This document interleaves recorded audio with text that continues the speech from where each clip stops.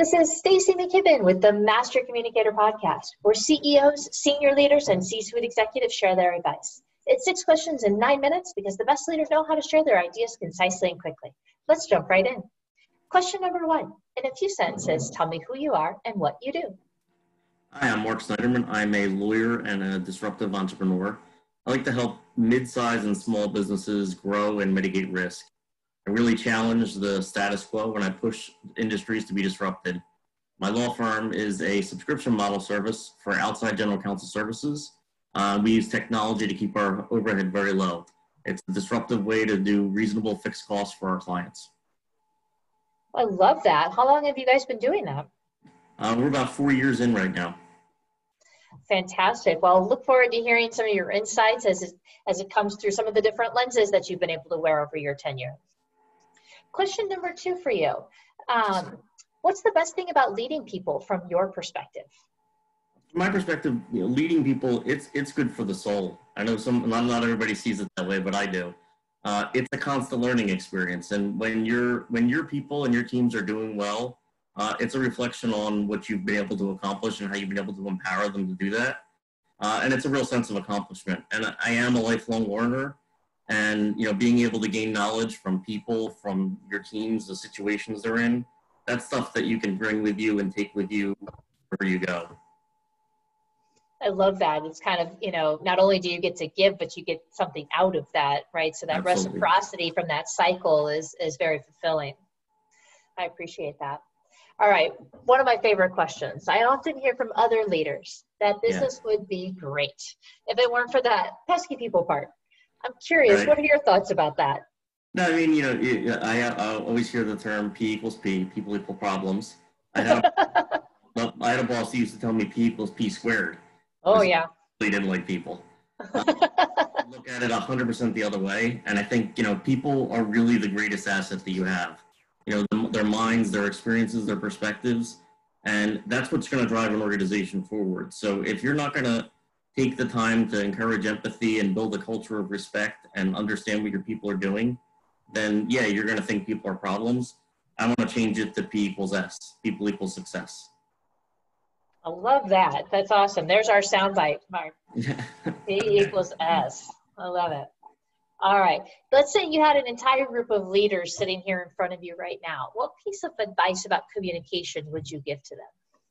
So you know, I, I I thought I thought think a lot about this kind of thing about how do you communicate better and how what can you tell how do you tell other leaders to run the organization? Because you're really you're really giving you know pretty insightful things to say okay you need to do X Y and Z to be a better leader right? Yeah. and to lead on their in their own way. They have to do things the way they the way they see it. But there are some common threads that fill all of any good leader right? They're they're straightforward right? They don't dance around issues. You, you, tell people the way things are and what it has to be. You can do that in a very respectful way, but you need to be straightforward. You can't dance issues all the time. Yeah. Then you lose accountability, you lose respect. Uh, empathy is obviously it's a big buzzword these days, but it is really, really important, right? It's knowing that everyone has their own demons. Everyone has their own things going on in their life outside of work uh, especially right now, we're really seeing it, right? But when you're when you're in when you're in with your employees, you, you need to know that they, they need to know you care, right? And not sympathetic, but empathetic. But you need you need you need to be that way with them, uh, and they need to see you in that way in order to to be a successful leader. Uh, you need to be positive. The, the organization has to drive positivity. Uh, if the leader of the organization is always negative, there's not a very good chance the place is going to grow and it's going to continue to flourish. Uh, I'm a big fan of ethics because I'm a lawyer, uh, and but I, I, do speak a lot about ethics. And you know, I, I use the phrase "culture reach strategy," right? Which everybody knows, culture reach strategy. But I say, but ethics is your fork and your knife, right? So if you don't have the right ethics and the right, and that starts from the top, and that's driven from the way you speak, the way you communicate, how accountable you are, how responsible you are, and all that drives from the top down. And when you have an organization where you're allowing toxicity, right? So I always say if you have a toxic person, they have to go, right?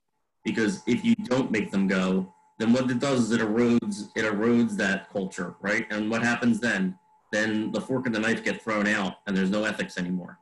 Mm-hmm. And with Enrons and all those other fun companies that have done so many great things over the years. so those are kind of my you know my key drivers. I like to say, I, I think a good leader is down to earth, right? They have to they have to be able to relate to the people yeah, if you don't connect, you're going to have a very difficult time influencing for sure. Yeah. What other successful business leaders like yourself should be on the podcast? You know, who else should we be listening to? The other Marc Snydermans out there. Well, there's only one of me. Just kidding. there's the uh, you know the one of one of uh in my area. There's a, a really great leader uh, by the name of Lior Hemo from Vantage Real Estate Services. Uh, he started up a commercial real estate uh, service of his own uh, about two years ago, and he's just really been tearing it up and just doing really, really well. And he has a great, his people really like him. He has a great rapport with his people.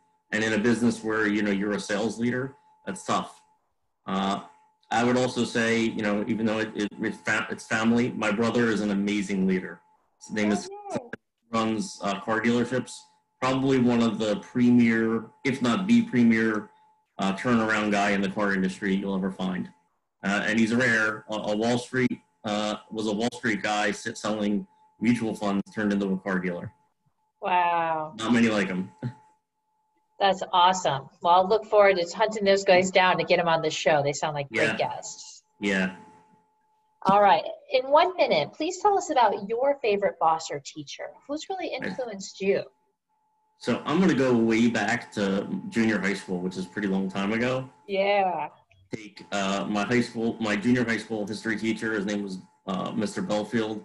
He was probably the he was the the turning point. I mean, I was always a good student, always did fine, but he was the one that showed us. Uh, he treated it like it was a college level class in junior high school.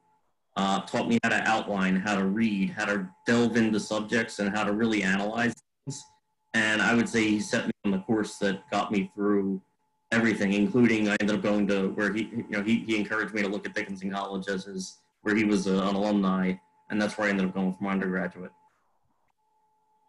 That's amazing that you have somebody in your corner for that long to be so influential at such an, yeah. you know, uh, formative age, right? Yeah, it was. It, he was. He was a. He was a special one. That's great. Do you find yourself paying forward some of those those uh, tips and tricks today, or? Absolutely. Uh, I think paying paying it forward is is that's that's what that's what life is really about right now, uh, especially in the COVID crisis. If you're not going to help people out and be there for other people right now, when are you ever going to do it? True story, right? And if you don't show up in these times, then what times do you show up? Right. Exactly. Well, Marc, it's been an absolute pleasure having you on the show and hearing your ideas. You know, I love it. Straightforward, empathetic, be positive, right? Down to earth, connect with people. Absolutely. I think a lot of what you taught us today is is really essential. Um, how can people find you if they want to reach out and learn more or just get to, sure. to know you better? Uh, I'm easy to find, uh, SnydermanLawGroup.com, uh, or on my LinkedIn, it's just Marc Snyderman. You can find me Twitter, Instagram, I'm all over the place. Heck yes. Well, I'm sure somebody will reach out and say hi and thank you for your nuggets of wisdom out there. So thank you so much for the opportunity. It's an absolute pleasure having you on the show. And this is Stacy McKibben with the Master Communicator Podcast. For more ideas and insights, please do go check us out at www.concilioteam.com. And we do look forward to seeing you again next time. Take care.